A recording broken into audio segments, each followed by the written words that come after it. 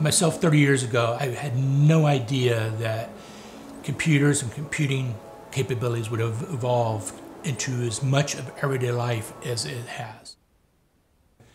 Uh, my, name is Henry Werchan. I'm an uh, assistant professor at the University of Arizona. I'm also a program director for applied computing. So my undergraduate degree was at Texas A&M. Um, and I, I, got it was actually in the ROTC program at Texas A&M, and from there I went directly in, into the Army. Uh, and actually, the Army is what brought me to Arizona. Uh, it, it uh, stationed me at, at uh, Fort Huachuca at the U of A while I was at Fort Huachuca. And then what happened is in the middle of that, of course, we had the uh, the first Gulf War. So I was actually was deployed for for uh, a little less than a year.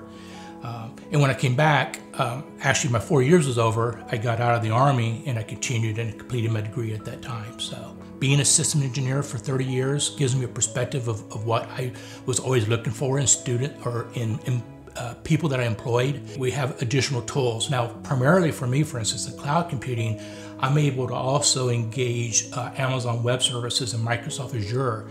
So I find by using the actual tools that are used in industry, it just positions the students, you know, I've, I've had countless students that have, have uh, graduated and have let me know that the, afterwards they've found a job using exactly the skills and the techniques they used taking my classes. Beyond that, applied computing, um, again, you know, we have tremendous growth in the area of artificial intelligence. That's another area that's really uh, is growing uh, significantly, and we're just trying to get students, you know, prepared for the marketplace there. Academia, we're always trying to keep up with industry because industry is, is always, you know, taking the next step of where things can go. Wh whichever discipline you, you, you choose, there's going to be a, a career opportunity immediately available there's tremendous growth, you know, so if, if you start off in cloud computing and if you get a, an interest at, later on in artificial intelligence, certainly there's opportunities to expand up there.